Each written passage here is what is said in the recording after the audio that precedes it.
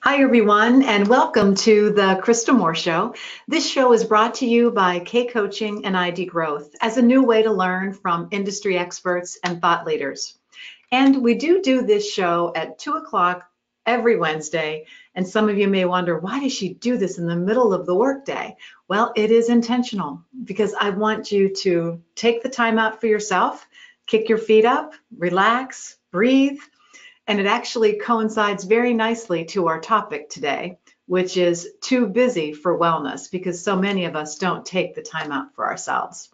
I'm excited to introduce to you our guest today. Her name is Renee Manning, and she is a business owner, a professional facilitator, executive coach, yoga instructor, and also the host of her new podcast, which is The Biggest Small Things. So I'd like to welcome Renee Manning. Renee, how are you today?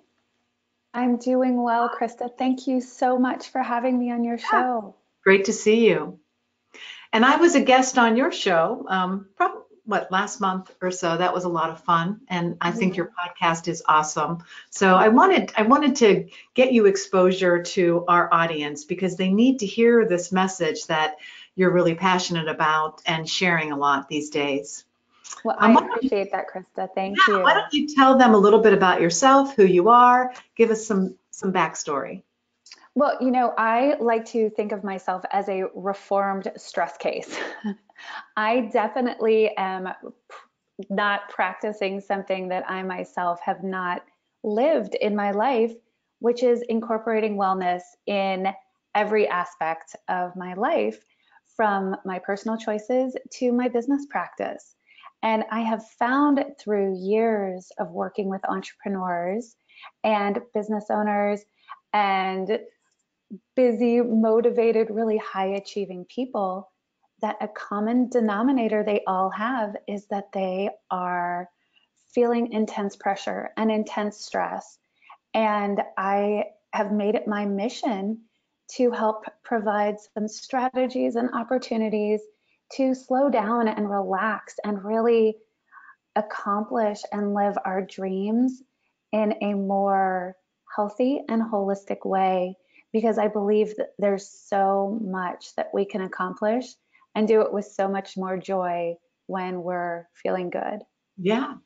And I, I know the first time that we met, I'm not sure specifically when that was, but I know it was associated with EO, which is the Entrepreneurs Organization, and your role is a forum facilitator, and you train and you teach, you know, that practice. But um, so you've you've had broad exposure to entrepreneurs all over the world. Yes, and when you correct. say that that one common area, um, you know, I can feel that. I mean, I, I remember from my forum alone, it was a common denominator, and we were all kind of searching for how can we start focusing on being instead of just doing, doing, doing and being busy, busy, busy? Absolutely. So and those of you in forum are already, I think, have a leg up. People in forums and masterminds, for example, because that's a built in community. And that's actually one of my strategies for including wellness into your life is to yeah. have have a group like you have because there's no if you're going to be stressed out there's no need to be stressed out alone absolutely right? that's great so um, why don't we go ahead and, and just start with uh, maybe some of the things that you are common that you've seen amongst very stressed busy business owners entrepreneurs salespeople definitely you know, I think one commonality, as we both mentioned, is this feeling that there's literally just not enough time in the day. There are so many demands on us as parents and us on children as uh, our parents are aging. There are demands on us that we put on ourselves in terms of things that we feel we need to do, that we must do, or our shoulds, things we should do. So, so this whole feeling that we know we should take better care of ourselves, but just can't seem to make the time is a huge one. Another thing I see is sort of a lack of connectedness, which is, as you know, a common thing happening in a very interconnected world with social media and with you know being able to talk like this right over video there's opportunity to connect, yet sometimes they feel really shallow. And sometimes they don't provide us that true bond that as humans we all really need. And so I, I find this lack of connection, mm-hmm. even though we're always super connected, being another commonality. Yeah. And I would imagine that you do work with a lot of high achievers and they are when I, we talk about busy busy busy i mean you know there's a big difference between being busy and being productive but that feeling that comes along with being busy where you have so many commitments or responsibilities that you put yourself last and I would imagine that when you see that, there there's an impact that that has on someone's professionalism or their professional well-being or their professional presence. Do you see anything there? That's so true. And really, especially with entrepreneurs and I, I believe salespeople are very um, affected by this also, in that there's such a blurring of lines between business and professional right? It's all integrated.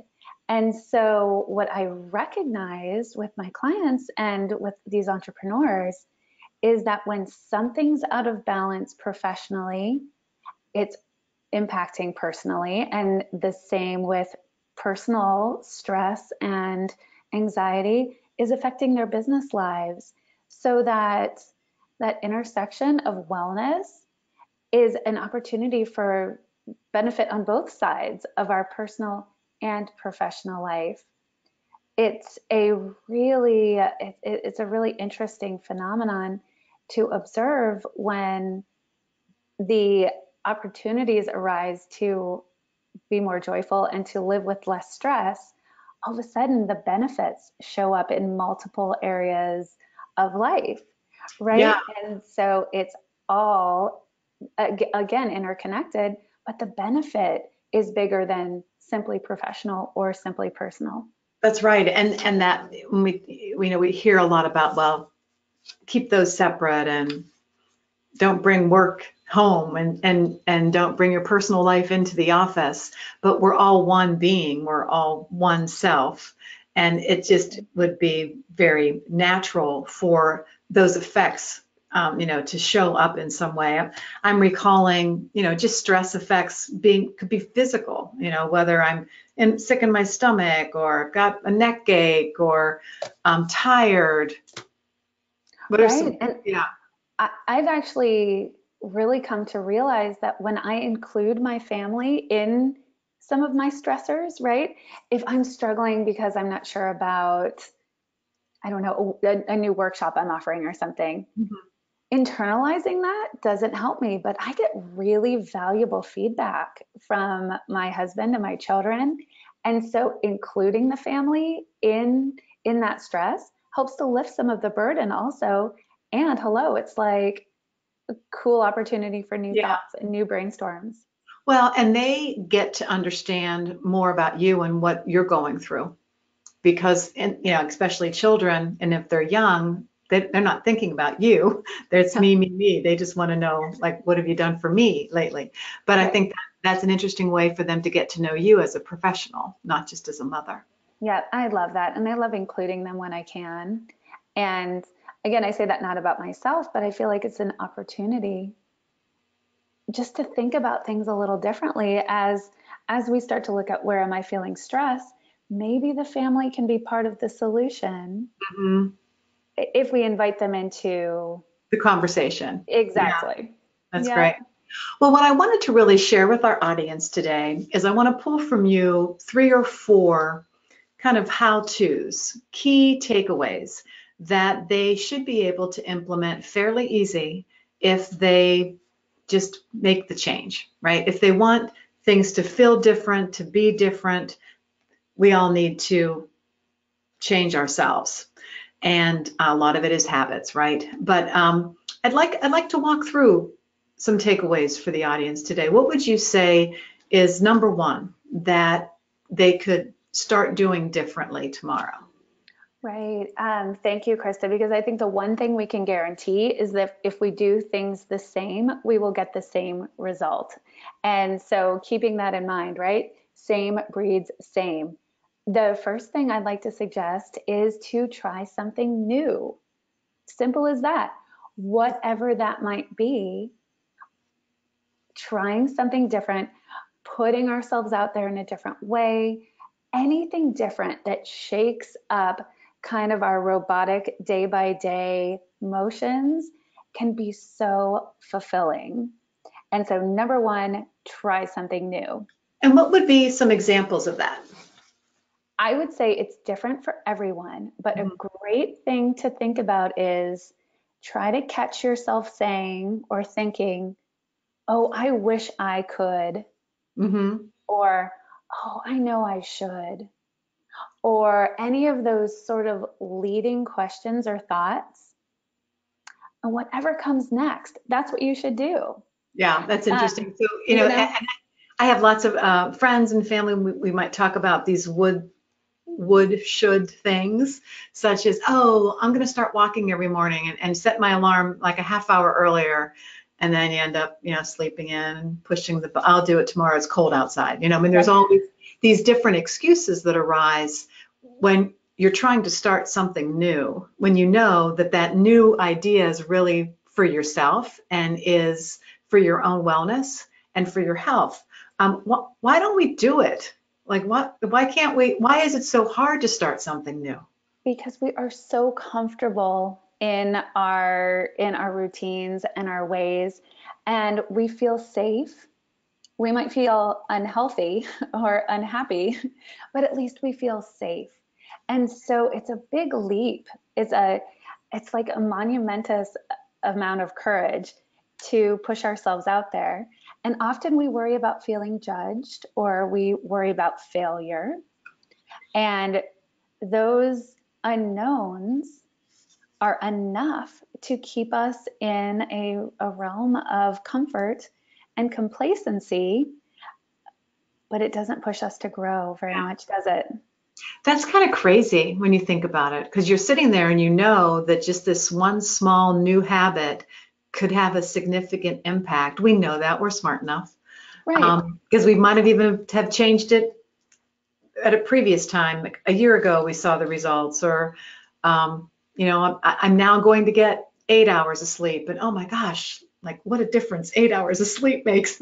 but um, but yet we'll still stay up till midnight, you know, watching Netflix. I oh, just absolutely. I it's torturous, you know, where we we know what's right for us, we know what the good habits are, but um, we don't go there. I always kind of, I mean, I'm I'm guilty of that. We all are, and I think it kind of leads into my 2nd mm-hmm.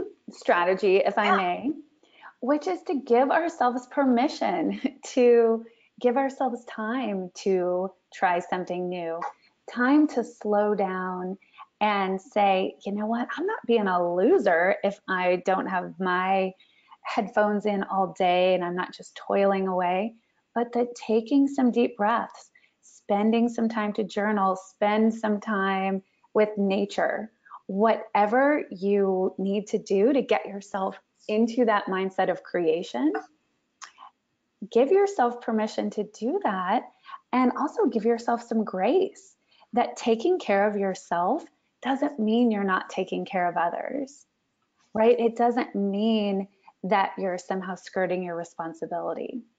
So just yeah, I, I feel I feel like number two is also about giving well, obviously the giving the self permission, but it's permission to be quiet to be present, um, to, I'd like to say, being instead of doing. Instead of doing.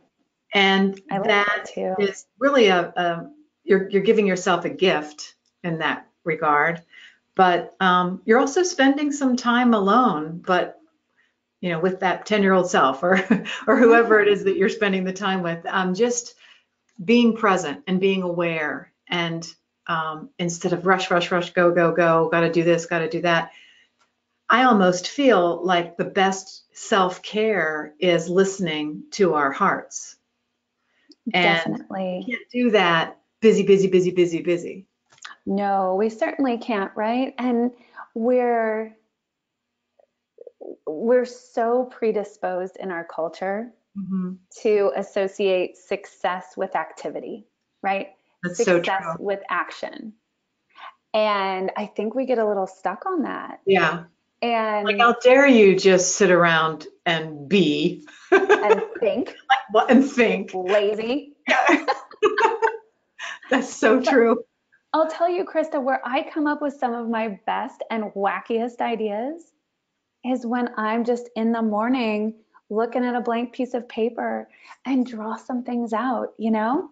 So so I'm just sitting there writing, but that's where I come up with some really great stuff. It reminds me of something, uh, you know, you were talking about number one, creating new habits, and then number two, being instead of doing.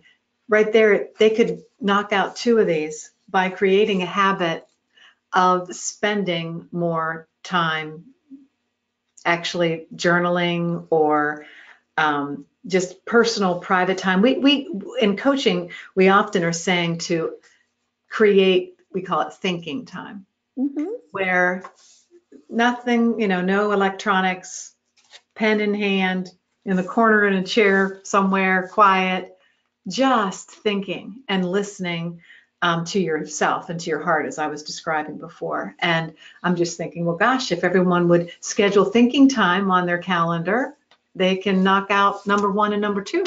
Well, for sure. And they could kind of think through, transition that into number three, which is our morning routine, right? That's right. What are we doing in the morning? Are we getting up and going straight to our phones? Are we going straight to our computers to look at whatever whatever fire has happened overnight or whatever sale is now at J. Crew? Guilty. And instead, Zulily. yeah. and so instead of doing that, I'd like to propose a tech free morning. Really thinking about your morning as your gift to yourself and d- doing the thing we alerted to earlier, which is getting up a little bit earlier.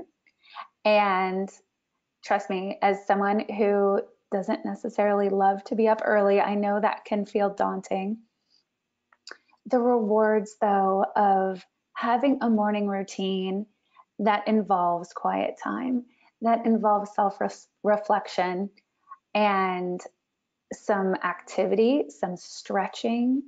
Uh, if anyone's interested in yoga doing some basic yoga stretches in the morning is a wonderful way to set your whole day up for success. And if nothing else if you can't find that time throughout the day you got it in once, right? And so already you can feel good about yourself going into the rest of the day, knowing that you gave yourself that gift. And it becomes a habit after time Yeah. and becomes easier. So I'm listening to you and I'm feeling bad about myself. I'm judging you. That's all you. You're right. well, because I'm thinking, I remember um, when I would take the time to do all three, right?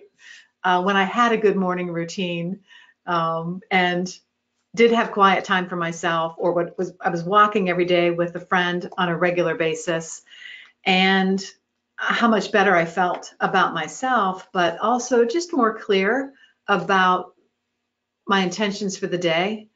And um, those are good habits. And I guess, you know, I need to get back into that.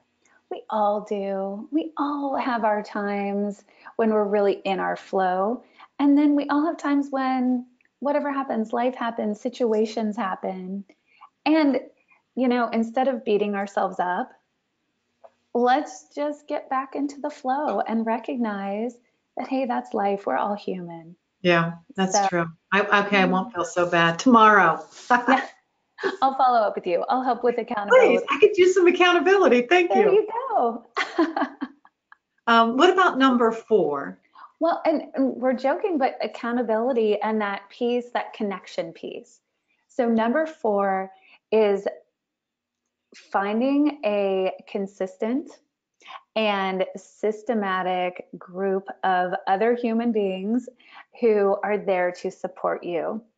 So, routinely creating deeper connections with other people is a great way to optimize health and wellness in our lives. It goes back to those human needs we have to connect.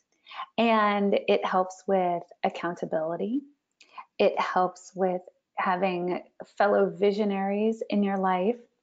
And so finding this trusted group is a huge way to stick with your wellness objectives, with your business goals.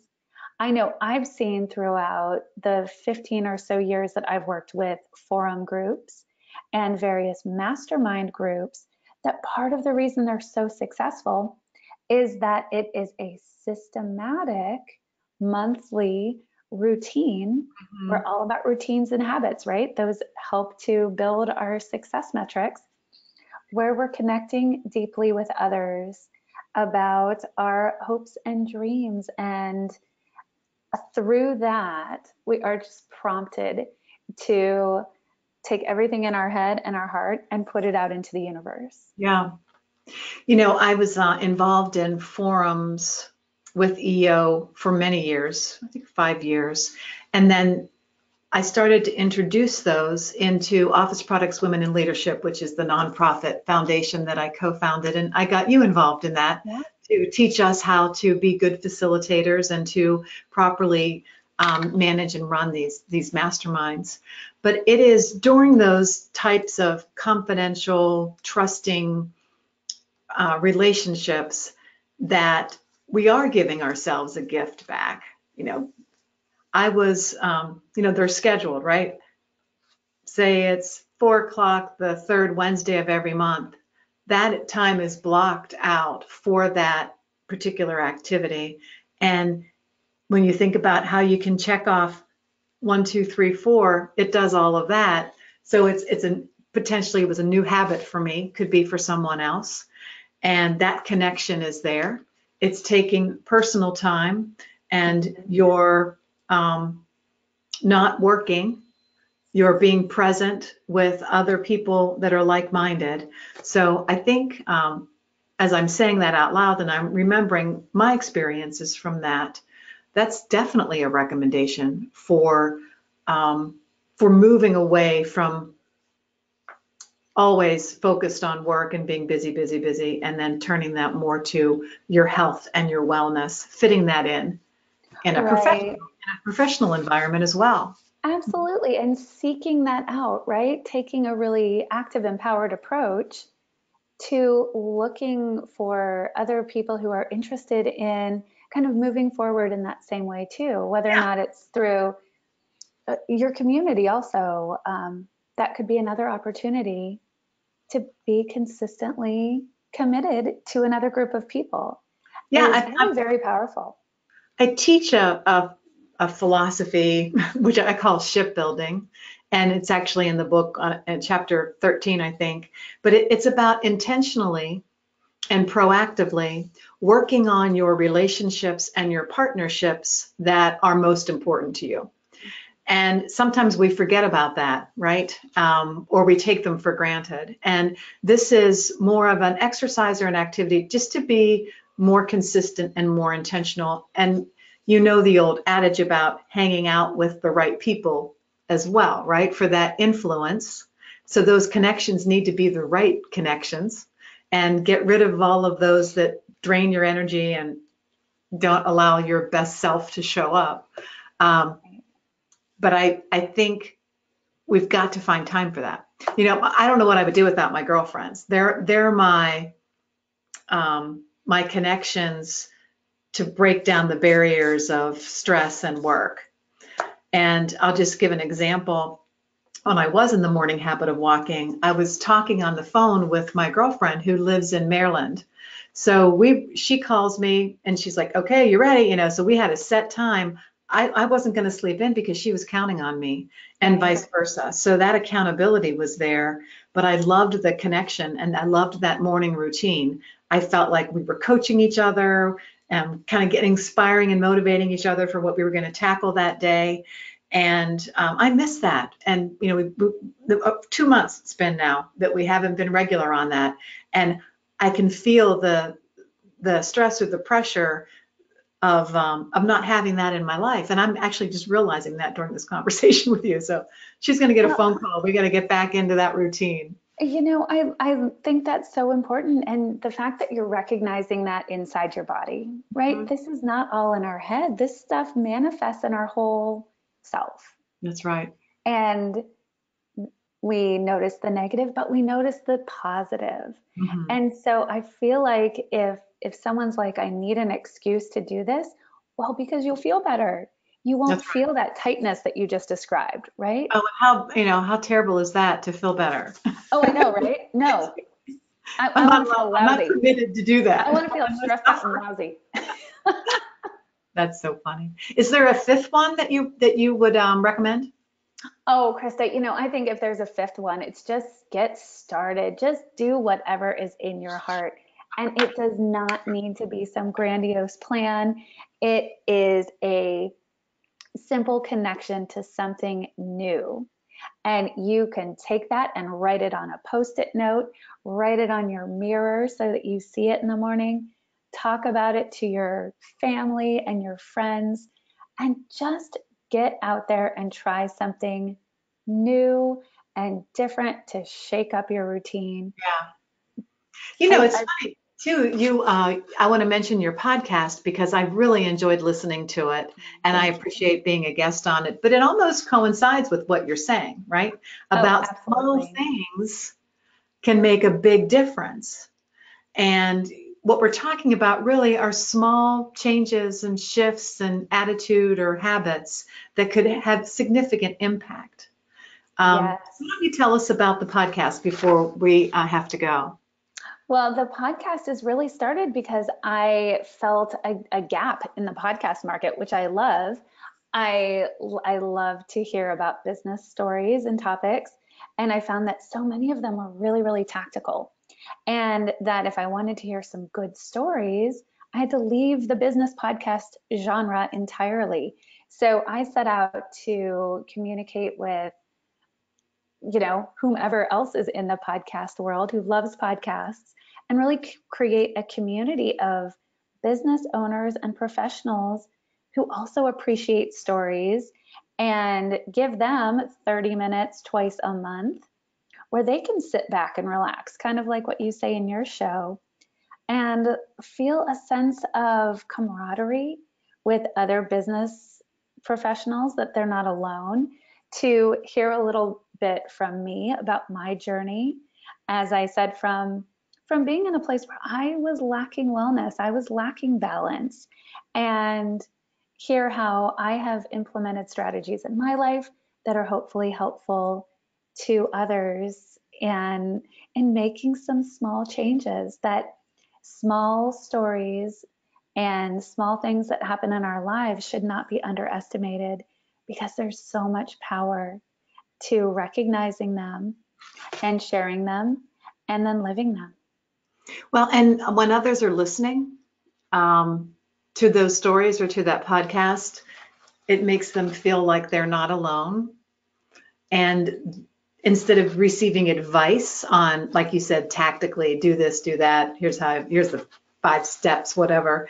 Um, it's listening to other stories that are relatable and that they can um, they can connect with in that way. You know, so I I love the whole concept of the podcast and the theme of the podcast, and you've got a great way of bringing out those stories. So as a guest, I can certainly attest to that where did this come from for you? Like, how did you how did you land on this? I know that you learned the hard way because you didn't have the wellness and then you found it, but where does it come from kind of at your core? My goodness, at my core, I think it, I've got to give my parents credit.